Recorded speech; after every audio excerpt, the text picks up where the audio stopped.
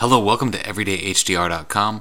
My name is Blake Rudis, and today I want to show you how you can make a window effect in a photograph. I did this in one of my uh, concerts a while back. I think it was concert six or seven, um, where I took this uh, compass and made it appear as if there was an image in it with a piece of glass over top of it. And you can do something very similar if you want to make your photograph appear as if you're looking out a window. So I'm going to go ahead and take this picture of my favorite coast. This is the Bixby Canyon Bridge out there in uh, California, out by Big Sur. Man, I miss this place a lot. But I'm going to make it look as if we're looking at this through a porthole window. So let me go ahead and load that picture. So I've got the picture loaded. Uh, this is an old nasty porthole. I kind of like how this looks though. So we're going to with the move tool, we're going to select the background of this and move it right on top of our other image by holding shift, which will place the image directly in the center. Now you should be looking at this uh, massive, um, I don't know, bubbly piece of metal here, oxidized piece of metal. We're going to go ahead and grab our marquee tool and go to the elliptical marquee. Now, with the shift key being held down, go ahead and start up in the top somewhere and just drag that down. We want to make a porthole window. It's going to be about the size of the middle of our photograph. We want to off-center it just a little bit to the left here. Now, what I'm going to do is I'm going to create a layer mask on this. And now you're thinking, well, it looks like the reverse of a porthole window. That's okay. We made a mask of the selection. So what was selected became uh, the area that we wanted to keep. If we want to change that, we can just click on the mask and press Control I for invert. Now, now that we've inverted this, we're going to want to do one more thing. We're going to make another layer and fill this with white by pressing Shift F5 and go to white. Now, if Shift F5 doesn't work, you can go to Edit or go to uh, Edit, yeah, and then go to Fill, and then fill it with white.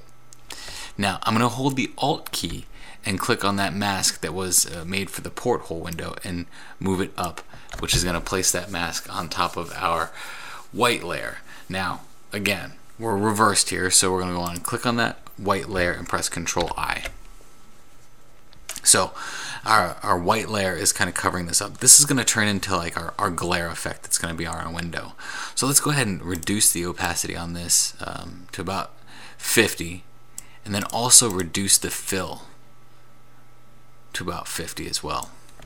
Okay, so let's get into our window effect. It doesn't quite look like a window just yet.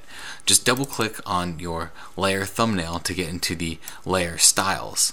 We're going to go to bevel and emboss. We're going to make the porthole window have an inner bevel. Make the depth, um, let's see here, let's play around with this that's pretty much what I do is just play to get this right.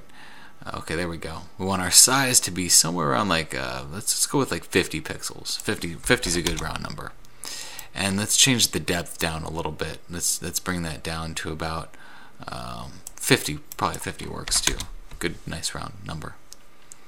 Now with the softness, you can go and drag the softness up to take the edge off of that window a little bit. You see, we're already starting to get kind of like a, a wrapped edge on our window that's going to lead into our other window area. Now, down here in these areas, the shading areas, you can do a lot of stuff with this. You go into the gloss con uh, contour and you can change the contour of how that gloss is being affected. I really like this gloss con contour that we have here. Um, it's a little too strong right now, but that's not that big of a deal. We can go ahead and change the opacity to that down to somewhere around 30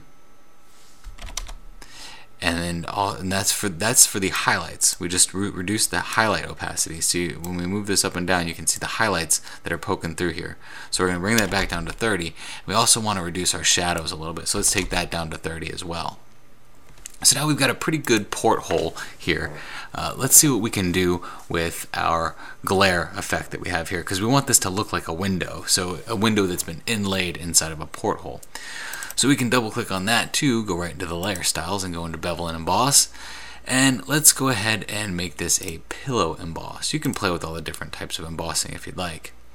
And we're going to bring this pillow emboss pretty high. Um, we're, we're going to bring it up to around, uh, let's say, 460. That works. The size can probably stay around where it is. Let's go with about 5. And let's go ahead and soften that by about 15 or so. Let's keep it around 13. That works. With the, uh, we're going to leave the gloss contour of this pretty much the same. Let's take a look at our preview. You can uh, un uncheck the preview button. It doesn't look like we did a whole lot as we were moving those sliders, but we really did. We kind of created a shadow along this edge right here. It looks pretty nice. So go ahead and press OK. So that looks that looks pretty good. Now, if we want to really kind of heighten this up a little bit, we can take our brush tool and mask out areas that are going to be uh, where uh, we don't want the uh, the glare to kind of shine through. So, and if you want to see what your mask is doing there, you can press the um, the forward slash key, which is right above the return key on a PC. So let's see what we've got here. That looks alright, but we can take this up another notch too. So let's go ahead and select your background layer, go to select and go to color range. Now select all of the highlights in this image, press OK. This is going to make every one of the highlights kind of appear right here. We can go ahead and create a new layer above this one and Shift F5 fill it with white. Now it's going to look kind of ugly and it's going to look ugly for a reason. We want to go up to our properties of, uh, well, let's go ahead and reduce um, the opacity on this by about 50 and let's also throw a Gaussian blur on it. So go to filter, go to blur, and go to Gaussian blur. So that's going to kind of help us give another glare. If it's too strong of a glare, you can always reduce the fill on it a little bit too. That's going to help us give a glare too. Now, another thing we can do to kind of tunnel vision this a little bit is duplicate our uh, original uh, metal pot metal uh, layer and go to uh, filter and go to lens correction and we can give this a vignette to kind of add to that tunnel vision effect Alright, so you see the edges are kind of blacked out now. And then what you can do is if you have a, a, a file laying around of water, this is pretty cool. You can move this water file again, move it over by pressing and holding the shift key while moving it. And let's get it to the size of our porthole here by pressing control T and then moving it down. And uh, we can just drag this out, it doesn't have to be perfect. Press OK. Now again, to grab this mask, press the Alt key while clicking on the mask and move it up. Now, we're reversed again, not a big deal, just press Control I to invert it. And the same thing here, we can change this to something like soft light, um, which doesn't really work too well for us. Luminosity, try to change the blend modes a little bit. If that doesn't work, just go ahead and reduce the opacity on it really low. And again, with this, we can also do a filter, blur, Gaussian blur. With this, to kind of blur out those those uh, and I am not blurring the photo, I'm blurring the mask. It helps if I clicked on the photo. Go to filter, blur, and Gaussian blur. And we can blur the uh, water droplets out to make it look as if water has splashed on our porthole window.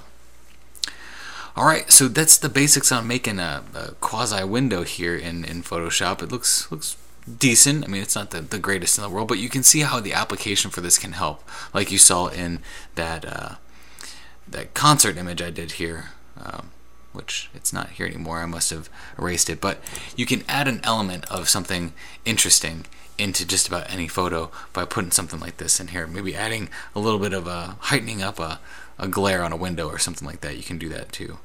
Alright, I'm Blake Rudis. This is Everyday HDR. I hope you enjoyed this tutorial, and uh, if you'd like it, you can go ahead and subscribe to the YouTube channel because I'm here pretty much every Friday helping you out. Alright, take care.